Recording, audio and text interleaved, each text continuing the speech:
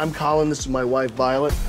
Violet and I came up with this idea for an awesome night. What do we have to do? I'll give you $200 whoever touches that stripper. Hey! 500 bucks if you hit him first.